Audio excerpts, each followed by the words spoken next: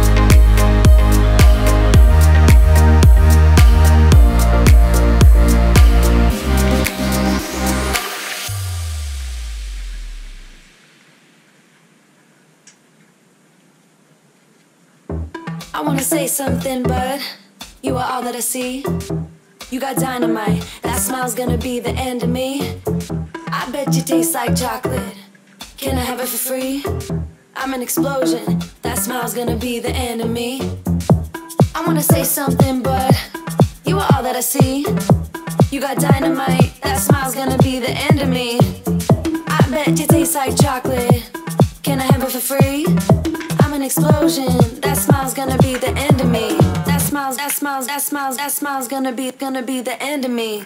I wanna say something, but you are all that I see. You got dynamite. That smile's gonna be the end of me. I bet you taste like chocolate. Can I have it for free? I'm an explosion, and that smile's gonna be the end of me. You cannot lie over a mai tai. You cannot lie over a mai tai. You cannot lie over a mai tai. Let's take each other out. You cannot lie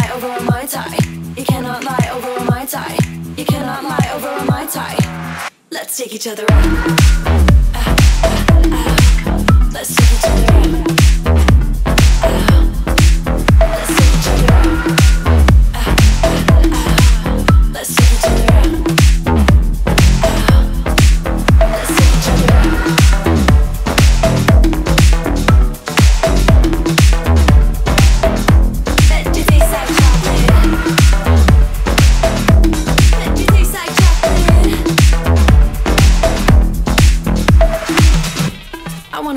Something, but you are all that I see. You got dynamite, that smile's gonna be the end of me. I bet you taste like chocolate. Can I have it for free? I'm an explosion, that smile's gonna be the end of me. I wanna say something, but you are all that I see. You got dynamite, that smile's gonna be the end of me. I bet you taste like chocolate. Can I have it for free? I'm an explosion, and that smile's gonna be the end of me. That smiles, that smiles, that smiles, that smile's gonna be the end. I wanna say something, but you are all that I see. You got dynamite, that smile's gonna be the end of me. I bet you taste like chocolate. Can I have it for free? I'm an explosion, that smile's gonna be the end of me. You cannot lie over a mai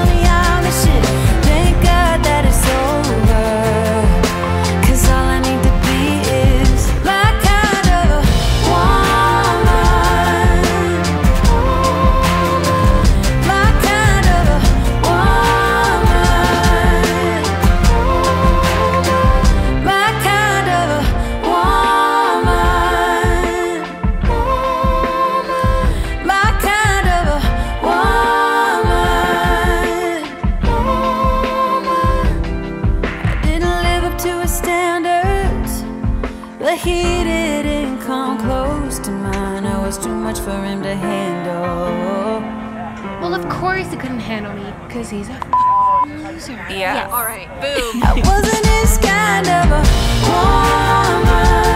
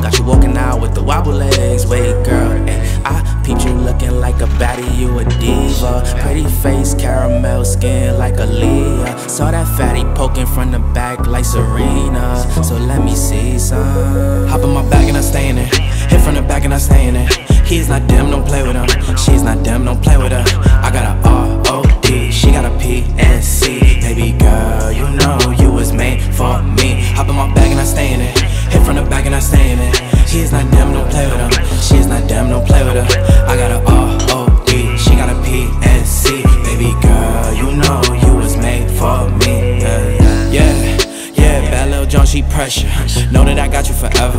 Love she got it together. Switching it up when she want, yeah. I seen it the day that I met her. Rocking it off like sweater. Shoes, Bottega Veneta. Hey, yeah. Know you got it, girl. Set the bar, then shot it, yeah, yeah. Slip it, sliding, yeah. Ain't tricking unless you got it, yeah. Can't break that bond, match the charms, and unless she wear everything done, we done did it and we took it there, cause. I see you looking like a snack. Let me see some. You are the wifey type. Maybe you could be one. Maybe change your life. I could show you many reasons, different seasons. Hop in my back and I stay in it. Hit from the back and I stay in it. He is not damn, don't play with him. She's not damn, don't play with her. I got a R O D, she got a P and C. Baby girl, you know you was made for me. Hop in my back and I stay in it. Hit from the back and I stay in it. She is not damn, don't play with her. She is not damn, don't play with her.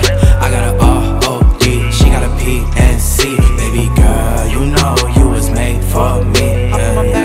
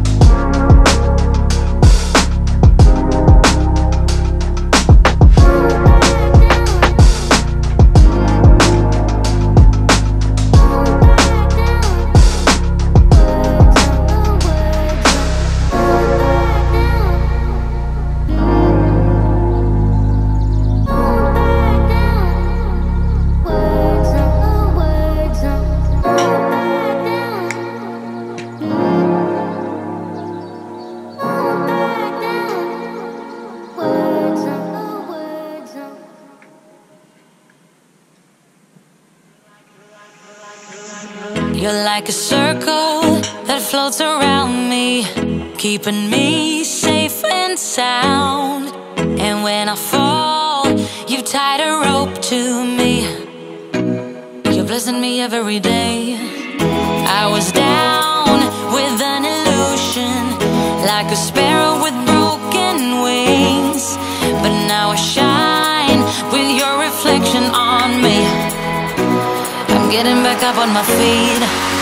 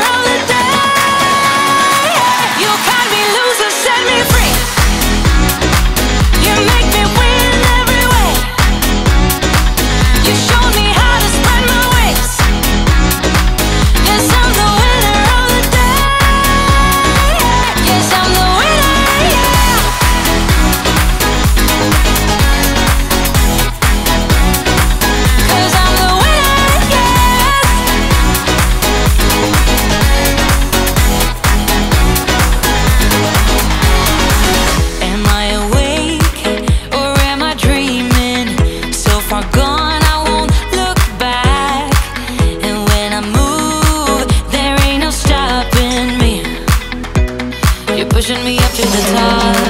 I saw the clouds looking angry But then the sky